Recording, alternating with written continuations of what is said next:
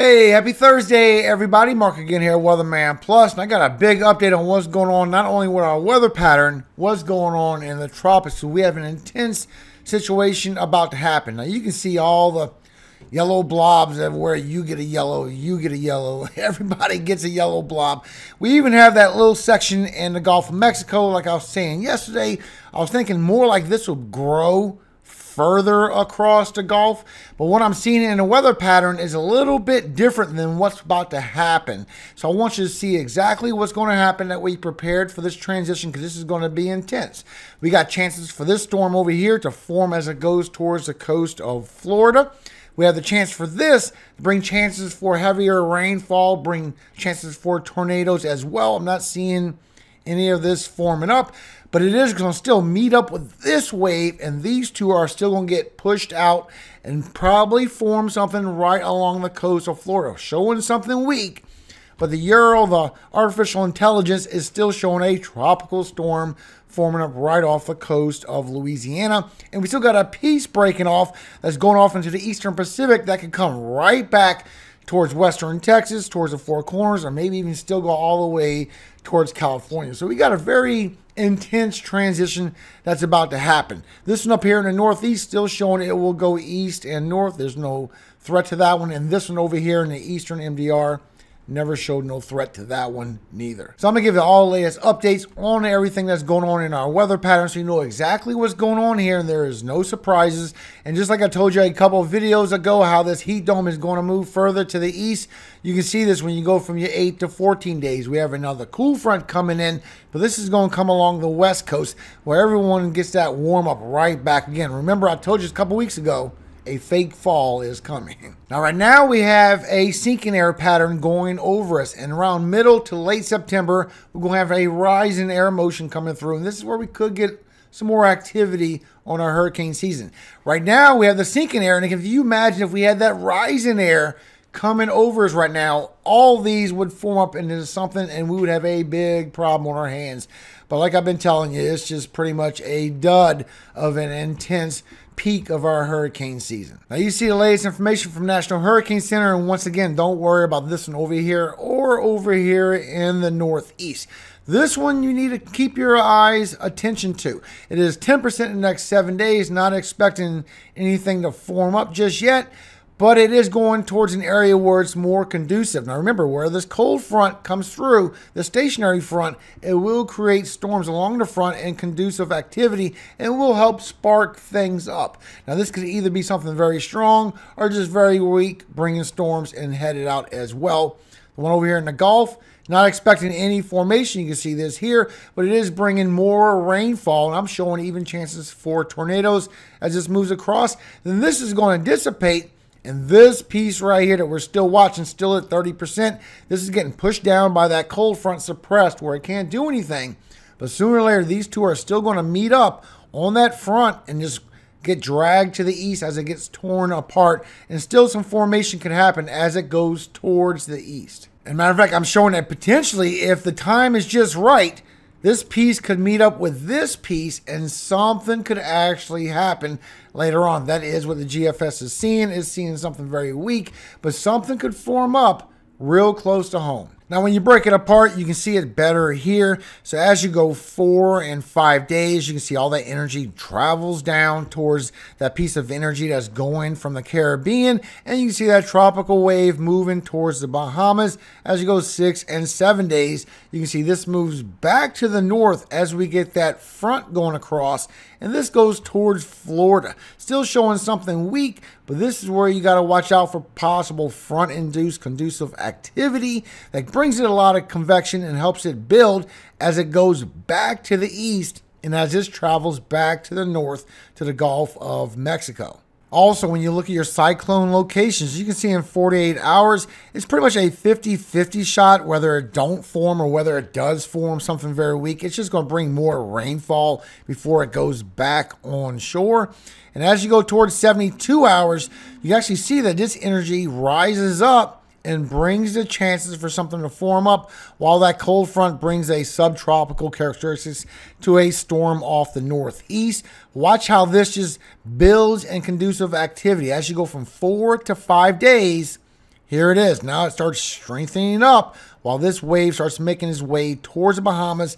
Now we're literally already at six days, showing a lot of chance for just a tropical storm, but just a tropical storm to form up potentially in the northwestern Gulf of Mexico, right here by Louisiana, while that wave goes right by Florida. Showing not a big chance for formation, but we do need to watch it. It is going to be close to home. And you can see the energy after it goes by Louisiana if it does not form up here. You can also see that that trough is going to bring the energy further towards the eastern side of the Gulf. And this is where everything kind of pushes to the east. And it's going to be a very tricky transition because not only is it close to home and it could form up really fast, there's a lot of things that's prohibiting it as well. But you can see here where the artificial intelligence of the Euro showing that might start forming up something as it moves away from the Gulf and interacts with that other Caribbean wave and still showing that it brings that potential tropical storm right towards the Gulf Coast. I'm still showing that. That has not changed.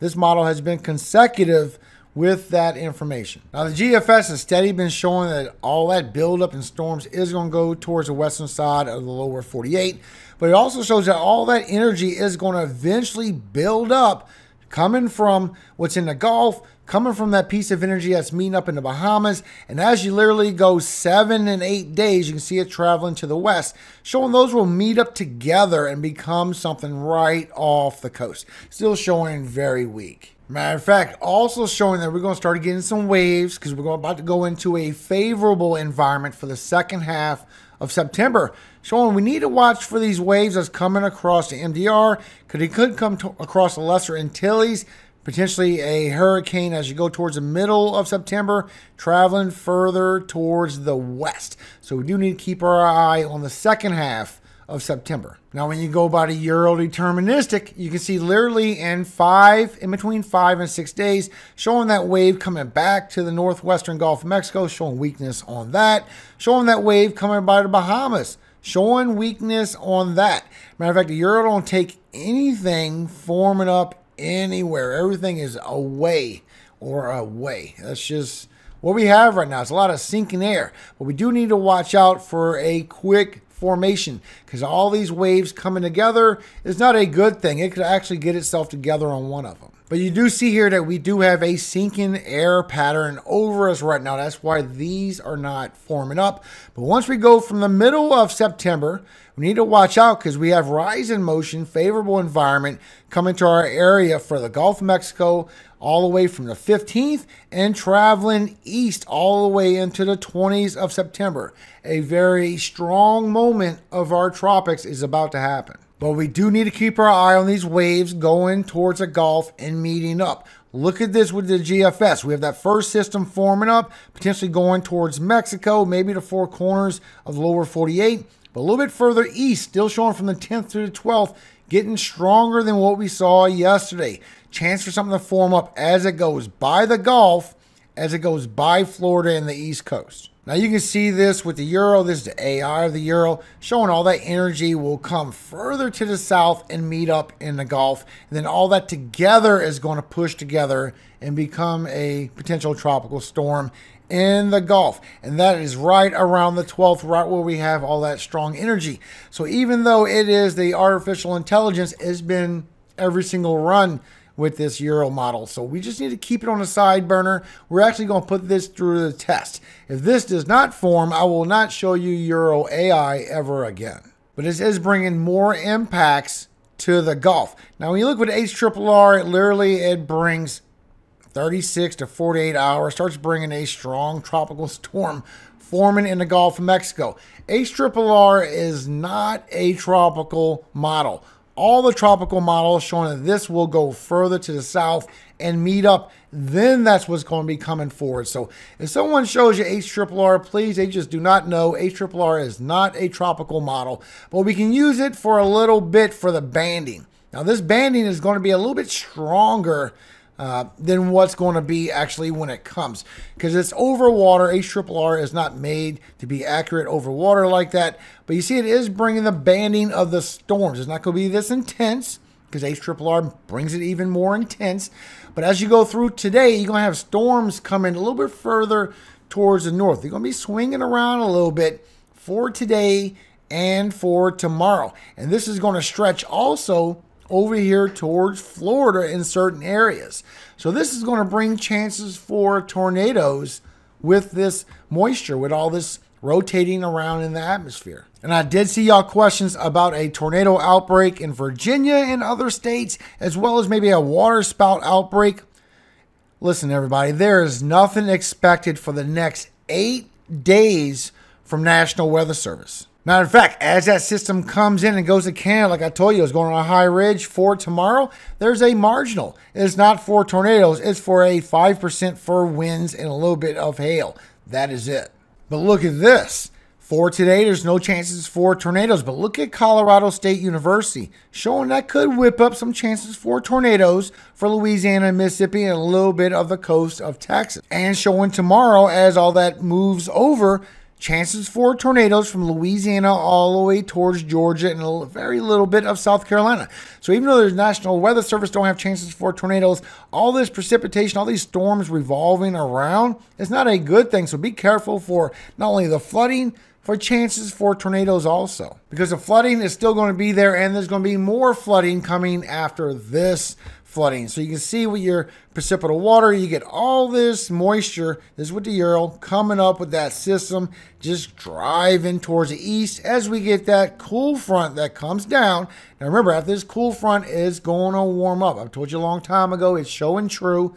So believe me, it's not going to be a frozen winter anytime soon while we get that wave moving to the west. So we do need to watch that whole transition that is about to happen. But this is bringing a lot of flooding. And you can see this from Weather Prediction Center. So it's bringing just for the next five to seven days, bringing a lot of heavy flooding. All this orange is all five inches and all that brown gets towards seven inches. So far southern Texas, the Gulf Coast of Texas, all the way into Louisiana. Look at that. It's all bringing five to seven inches of more rainfall coming your way.